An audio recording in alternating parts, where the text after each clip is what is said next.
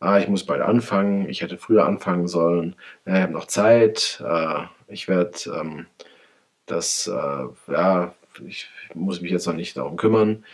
Und diese Prokrastination, dieses Aufschieben oder Aufschiebitis, äh, wie es auch genannt wird, das ist ein tatsächliches Problem, was sehr viele haben, auch gerade wenn wir viel zu tun haben. Und warum machen wir das? Warum ist das so verbreitet? Naja, ich glaube, ähm, der Hauptgrund ist, dass wir Angst haben vom Scheitern. Wir schieben das auf, weil wir Angst haben, dass es nicht klappt. Ähm, und wir sind vielleicht perfektionistisch. Wir wollen, dass es hervorragend wird und das, da spielt eben auch diese Angst mit, dass es eben nicht so gut wird, wie wir es uns vorstellen. Und oft wissen wir auch nicht, wo wir anfangen sollen und, oder es macht einfach keinen Spaß.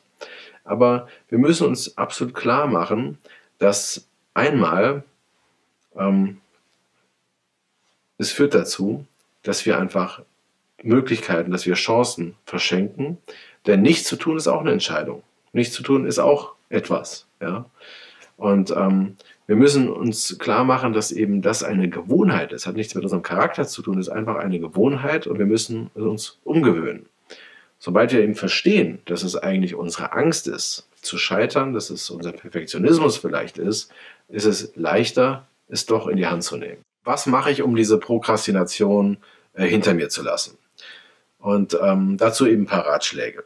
Also, äh, zum, ersten, zu, zum einen, ähm, wenn du ganz viele Aufgaben vor dir hast, ist es, hilft es sehr, die in kleinere aufzuteilen. In kleinere Häppchen, damit du siehst, irgendwie äh, Licht am Ende des, des Horizonts. Das ist das Erste.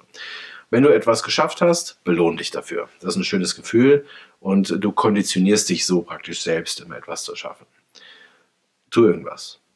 Nichts zu tun bringt nichts. Auch wenn du irgendwas ganz Kleines machst, tu irgendwas.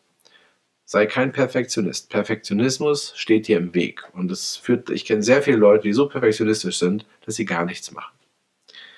Und fange mit den unangenehmsten Sachen an, überhaupt, hm, am Tag. Dann hast du das Unangenehme erledigt und dann äh, kann der Tag richtig anfangen. Zeitmanagement-Guru äh, Lothar Seibert ruft mich, wenn er mit, mit mir telefoniert, er ruft mich immer um 8 Uhr morgens an. Also das ist immer das Erste, was er macht tagsüber. Äh, und er lebt eben nach diesen Devisen. Also nochmal, ähm, die großen Sachen in kleine Teile aufteilen. Äh, belohne dich selbst immer äh, für das, was du geschafft hast. Tu irgendwas. Sei kein Perfektionist und fange mit den unangenehmen Sachen